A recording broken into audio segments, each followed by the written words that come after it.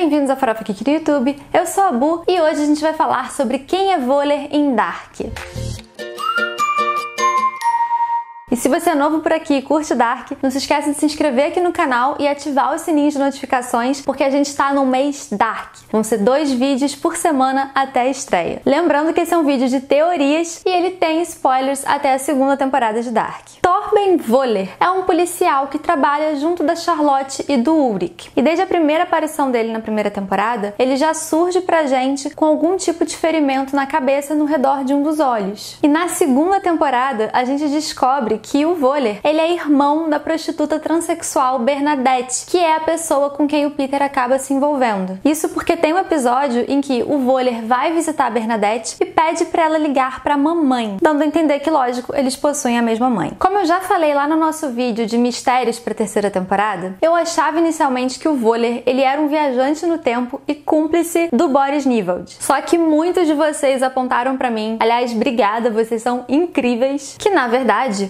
e Bernadette, eles são filhos da enfermeira Donata Kraus, que é uma enfermeira que aparece trabalhando com a Inês lá em 1986. E parabéns pela percepção de vocês, porque depois dos muitos comentários, eu fui lá assistir o episódio e no terceiro episódio da primeira temporada, a Donata, ela pede para Inês cobrir o turno dela. E isso porque ela precisava levar o Benny pro futebol. O Benny poderia muito bem ser o antigo nome que a Bernadette tinha antes de adotar o nome social dela. E uma coisa muito legal sobre essa teoria é que o fato da Donata ter pedido para Inês para cobrir o turno dela pode ter alterado para sempre a ordem das coisas. Porque uma vez que a Inês cobriu o turno da Donata, foi a Inês que se dirigiu até a delegacia e conheceu o Miquel. Se o Miquel tivesse sido criado pela Donata e não pela Inês, será que isso ia mudar alguma coisa? Então, como eu já falei, eu achava inicialmente que o Voller ele era o cúmplice do Boris Nivald lá em 87, só que essa teoria cai um pouco por terra se a gente levar em consideração que o Voller é filho da Donata. Porque sendo assim, o Voller sempre foi de Vinden. Ele não teria então vindo de Marburg junto com o Boris. Tem uma teoria muito interessante que alguns fãs bem perceptivos, eles perceberam que o relógio que o Voller usa é muito parecido com o relógio do Noah. Então começou a surgir um burburinho de que talvez esses dois personagens estivessem conectados. E gente, olhando as fotos, os relógios não parecem parecidos. Eles parecem iguais. Agora, para mim, isso não quer dizer absolutamente nada, além do fato de que essa marca de relógio deve ter patrocinado Dark. Comenta aqui embaixo se vocês acham que isso é indício de alguma coisa. Agora vamos lá para o mistério máximo. Qual será que foi o acidente sofrido pelo Voller? Tem uma galera especulando que não houve acidente nenhum e que na verdade essa bandagem que o Voller usa na primeira temporada e depois o tapa-olho da segunda seria para esconder a heterocromia dos seus olhos, o que apontaria que ele seria algum parente perdido da Cláudia. Eu acho que essa teoria não faz muito sentido, porque se o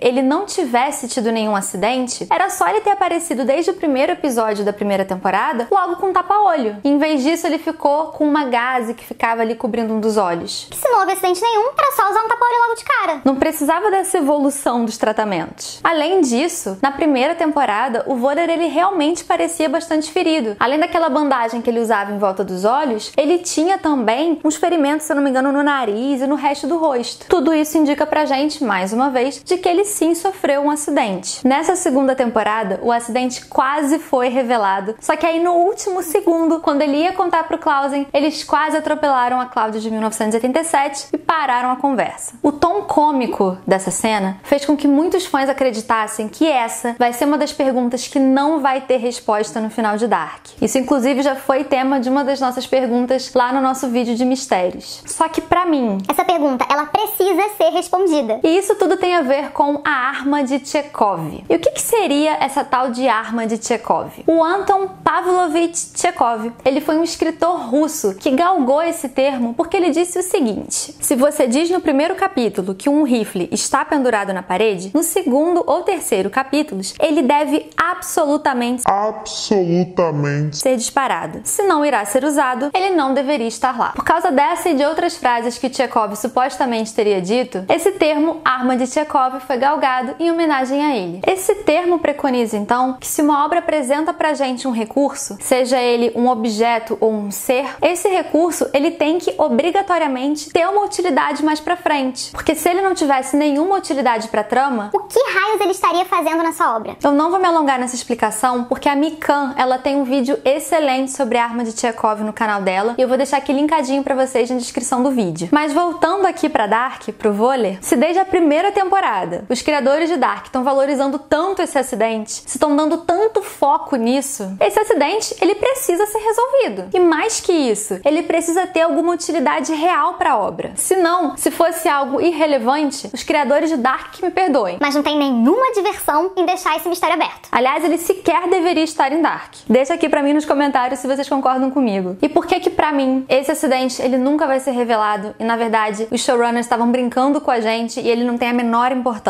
Porque como eu já falei em outros vídeos aqui do canal, existe uma entrevista com a Friese, que é uma das criadoras de Dark, ao portal IndieWire, e nela a Friese revela que eles não estão interessados em responder a todas as perguntas criadas por Dark. Eles acham que até o final da série eles vão responder mais ou menos uma proporção de 90% contra 10% que eles vão deixar em aberto. Simplesmente porque, de acordo com a Friese, É mais divertido assim. e eu acho que a série vai bem levar por esse caminho. Porque, como eu já falei, eu acho que isso virou uma piada interna. E outra coisa é que o Voller falou pro Clausen lá em 2020 que esse acidente teria acontecido no ano passado, ou seja, em 2019. Para ter alguma relevância na trama de Dark, esse acidente que ocorreu em 2019, ele teria que ter alguma relação ou com o suicídio do Michael ou com o desaparecimento do Mikel, que são os fatos que o Jonas fala que deram início ao primeiro ciclo. No caso, o suicídio de Michael e, consequentemente, o desaparecimento de Mikel. Só que a gente já viu desenrolar dessas histórias. E o Voller e o acidente do Voller não estava nem perto delas. Então, realmente não parece ser algo que tem muita importância. Além disso, uma outra coisa que eu acho que corrobora essa teoria de que isso vai ser um mistério deixado em aberto é que Dark é muito comparada com uma série que eu adoro de paixão também, que é Twin Peaks. E Twin Peaks, o David Lynch, foi uma das primeiras, das mestras a deixarem isso de mistérios e perguntas em aberto, além de ser muito viajante. E lá em Twin Peaks, sem dar nenhum spoiler pra vocês, existia uma mulher do tronco, que era basicamente uma mulher que ficava segurando um tronco pra cima e pra baixo na cidade E ficava acariciando ele e falando que o tronco falava pra ela as coisas que iam acontecer. e todo mundo fez várias teorias e no final das contas não foram encontradas muitas respostas. Olha, eu espero de verdade que o Voller ganhe uma outra chance de contar pra gente o que raios aconteceu com esse olho dele. E você, qual é a sua teoria sobre quem é Voller e qual foi o acidente que ele sofreu? Deixa pra gente aqui nos comentários. E se você gosta de Dark, não se esquece de se inscrever no canal e assinar os sininhos de notificações pra ficar por dentro desse nosso mês especial Dark. E